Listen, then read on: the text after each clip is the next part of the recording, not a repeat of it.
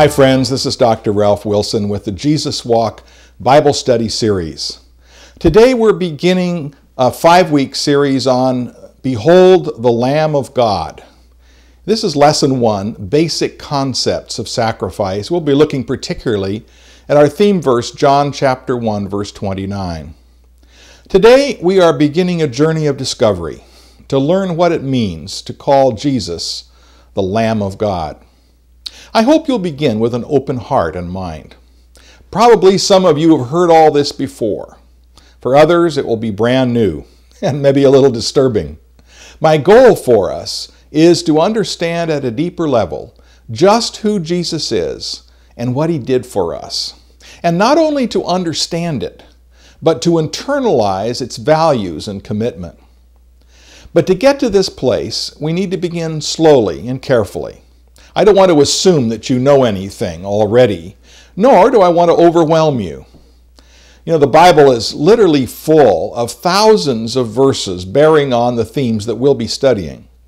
Some of you can quote some of them from memory, but I'll purposely resist the temptation to give you all the cross references that prove or illustrate every point. Rather, my method will be to look deeply at a few passages of Scripture. It's simpler that way for us to learn. Well, to begin, let's examine our theme passage. John the Baptist is preaching a message of repentance and baptism for the forgiveness of sin. Thousands have come to him as he is baptizing along the Jordan River. One day, John speaks about the Messiah for whom he has been sent to prepare. And now our theme verse, John 1 29. The next day, John saw Jesus coming toward him and said, Look, the Lamb of God who takes away the sin of the world. John also repeats this saying a little later in verse 36. Well, the context of these verses don't tell us a great deal about what John the Baptist actually meant when he said this. So let's examine the words themselves. First is behold the Greek particle ide, which can be taken two ways to, to point out something which the speaker wishes to which the speaker wishes to draw attention, look, see, and then to indicate a place or individual. Here I am, or here is so and so. So the New Revised Standard Version translate this verse, Here is the Lamb of God. John draws attention to Jesus and indicates that Jesus is the focus of his words which follow. Let's look at these words one by one. Lamb, the Greek noun amnos, refers to a young sheep, including at least up to one year old. In the book of Revelation, the noun arnion is used to designate a sheep of any age. And then it's the Lamb of God. Of God can mean either sent from God or perhaps owned by God. John is saying that Jesus, in some way, is like a lamb sent from or provided by God Himself, who takes away the sin of the world. Sin is the common Greek noun hamartia. Originally, it meant to, to miss the mark, to be mistaken. It occurs 173 times in the New Testament as a comprehensive expression of everything opposed to God. Sin and forgiveness of sin are major themes of the Bible, both Old and New Testaments. well, our modern society really doesn't like the concept of sin at all. Though dealing with guilt is a major psychological problem that plagues people of all religions and no religion.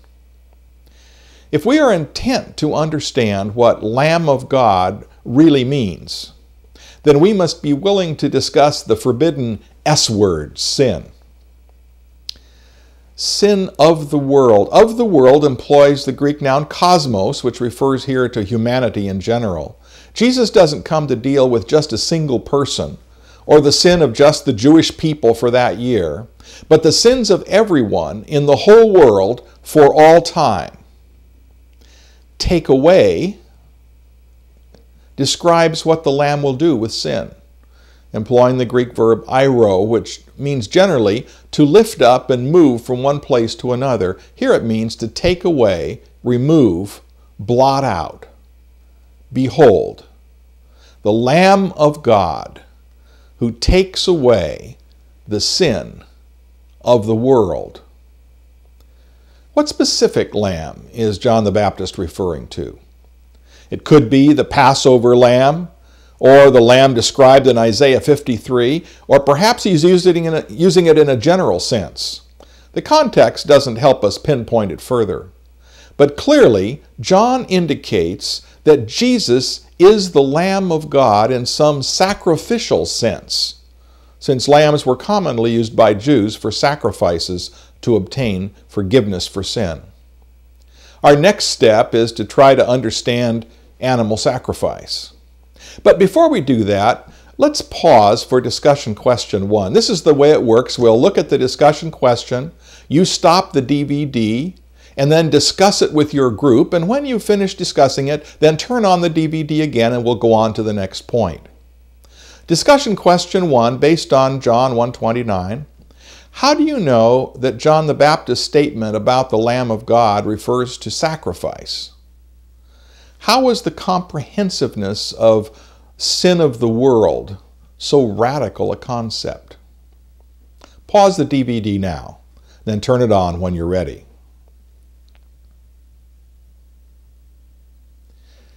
Well, nearly every culture throughout the world has employed sacrifice, usually animal sacrifice to somehow appease the anger of the gods.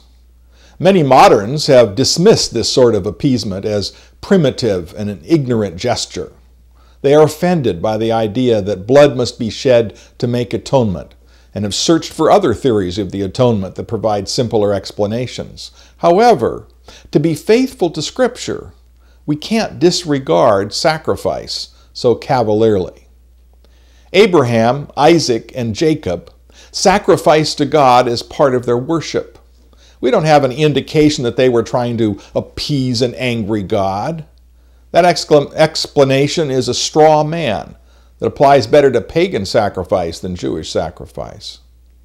At Mount Sinai, God gave Moses explicit instructions to build an altar of burnt offering in the tabernacle as well as rather complex instructions concerning types of sacrifices appropriate for various kinds of offenses. Yet, anger must be part of our understanding. We live in a society that seeks to pull God down to its own level. But a careful reading of Exodus, Leviticus, Numbers, and Deuteronomy make it quite clear that God is to be considered holy and righteous separate from humans and human sinfulness.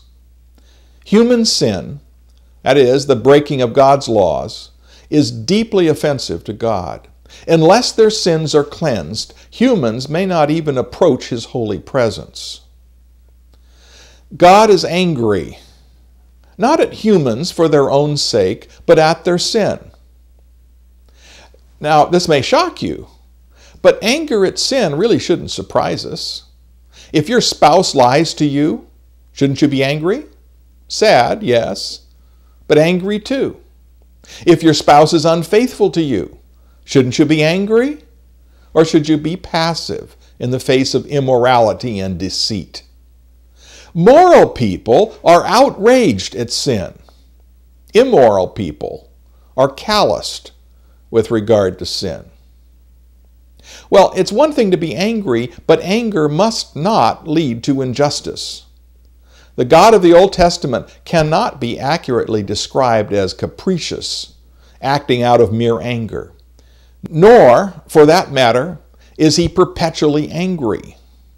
In Exodus 34 6 and 7, he is described as the Lord, the Lord, the compassionate and gracious God slow to anger, abounding in love and faithfulness, maintaining love to thousands, and forgiving wickedness, rebellion, and sin. Yet he does not leave the guilty unpunished. Let's pause now for discussion question two. Why is anger an appropriate response to sin? What is the difference between capricious or uncontrolled anger and anger that brings about justice. Pause the DVD now and then turn it on when you're finished discussing.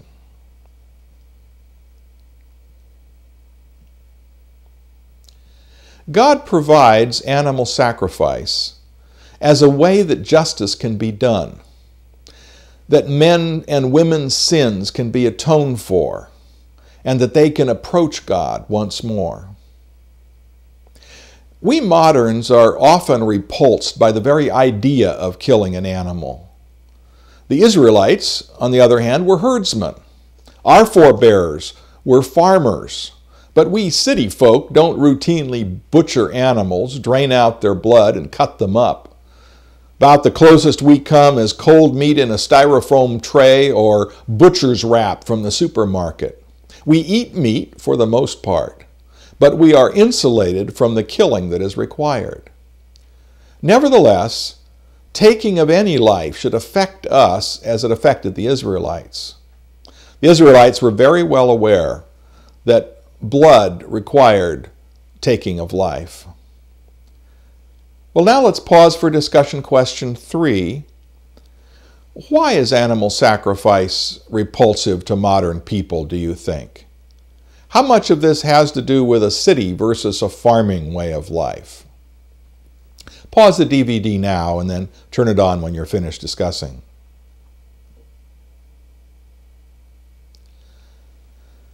Well, taking of life, even to eat, is never a trivial thing. God tells Moses in Leviticus 17:11, "For the life of a creature is in the blood, and I have given it to you to make atonement for yourselves on the altar. It is the blood that makes atonement for one's life." The word translated atonement here is the Hebrew verb kapar, kippur, to make an atonement, make reconciliation, purge. An equivalent Arabic root means cover or conceal, but evidence that the Hebrew root means to cover over sin is weak. Rather, the idea of kippur seems to be to purge, related to an Akkadian cognate kapuru, meaning to wipe clean. Our English word atonement comes from the Middle English at one meant, or reconciliation, which expresses the result of an atoning sacrifice. To sum up, atonement in Hebrew seems to mean to wipe clean, purge, a sacrifice that cleanses from sin. Behold the Lamb of God who takes away the sin of the world. Well, there were five types of sacrifices in the tabernacle and later in the temple. One, the burnt offering. Two, a grain offering. Three, a peace or fellowship offering. Four, a sin or purification offering. And five, a guilt or reparation offering. To comprehend the basics of sacrifice, let's look carefully at a sacrifice for purification from sin by a common person, which displays the typical elements. Here, a female goat or lamb is referred to let me read Leviticus 5, verses 5 through 6. When anyone is guilty in any of these ways, he must confess in what way he has sinned. And, as a penalty for the sin he has committed, he must bring to the Lord a female lamb or goat from the flock as a sin offering. And the priest shall make atonement for him for his sin. And then Leviticus 4 32 to 35. If he brings a lamb as his sin offering, he is to bring a female without defect. He is to lay his hand on its head and slaughter it for a sin offering at the place where the burnt offering is slaughtered. Then the priest shall take some of the blood of the sin offering with his finger and put it on the horns of the altar of burnt offering and pour out the rest of the blood at the base of the altar. He shall remove all the fat, just as the fat is removed from the lamb of the fellowship offering. And the priest shall burn it on the altar on top of the offerings made to the Lord by fire. In this way, the priest will make atonement for him for the sin he has committed, and he will be forgiven. So, here are some of the key elements of sacrifice as they appear by the time the Mosaic Law is given, simplified just a little. One, confession of the sin. Two, bringing an animal that has no defect that might decrease its market value. It must be healthy and whole, or it is not fit to offer to God. An animal like this could be rather costly, though a poor person might bring a pair of pigeons or doves instead. Number three, the sinner is to lay his hands on its head. There seems to be a sense in which the offerer's sin is imparted to the animal through the laying on of hands. At least we see that on the Day of Atonement in Leviticus 16. Number four, he must slay the animal by cutting its throat. Five, blood is collected by a priest, put on the horns of the altar, and poured out at the base of the altar. Six, the fat portions are removed, which are given to the priest and burned on the altar. Seven, the meat is eaten by the priests in the case of a sin offering. In the case of a, a peace or fellowship offering, most of the meat would be eaten by the offerer and his family as a kind of sacred meal or celebration before the Lord. Well, from this analysis of a sacrifice for sin, I see several principles. One, confession or acknowledgement of sin is a necessary part of the sacrifice. Two, a sacrificial animal is costly to the sinner. Nothing is free here. Three, there is a close identification between the sinner and the sacrifice. The imparting of sin by the laying on of hands suggests that the animal becomes a substitute for the sinner. Four, killing the animal is very personal. It is not done for the sinner by a third party, but by the sinner himself. Well, we've got a lot to process, and what I'd like us to do is pause now for discussion question four, based on these two passages in Leviticus 4 and 5. What are the basic elements involved in a sacrifice for sin? Which of these are still necessary for forgiveness of sins today? Which are no longer necessary? And why? Pause the DVD now and then resume when you finish discussing.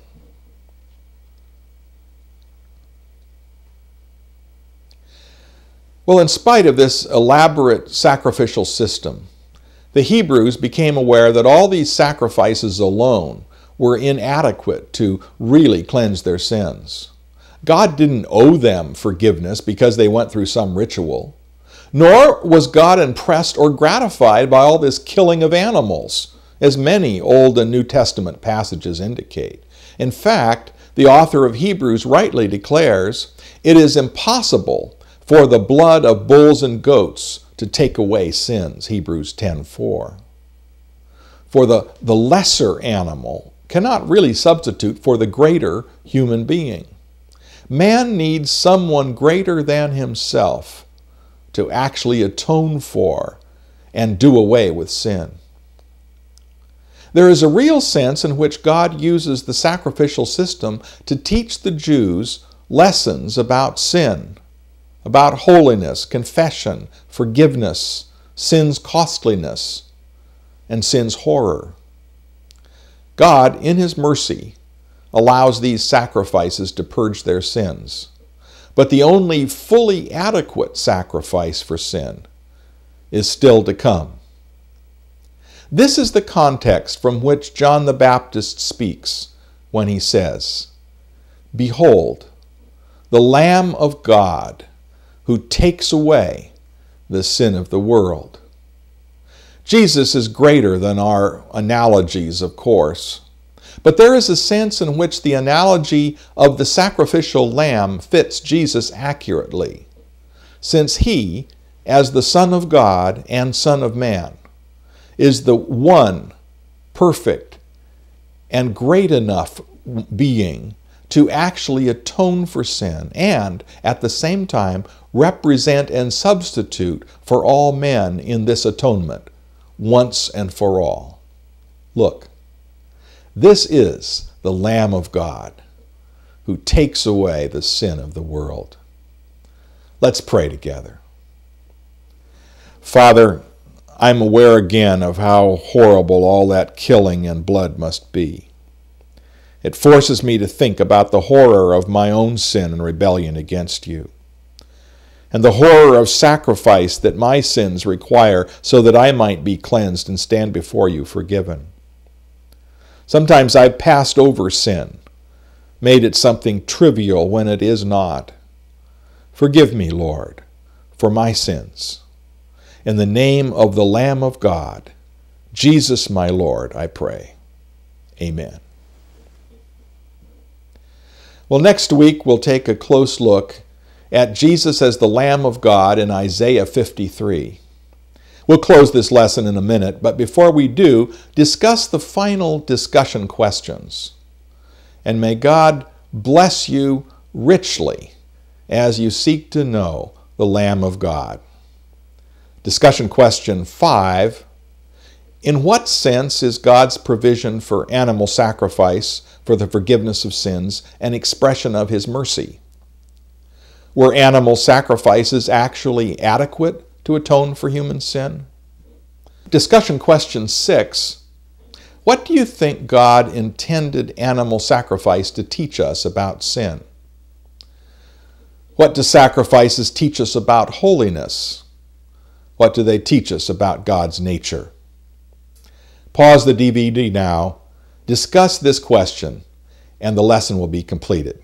Thanks and God bless you.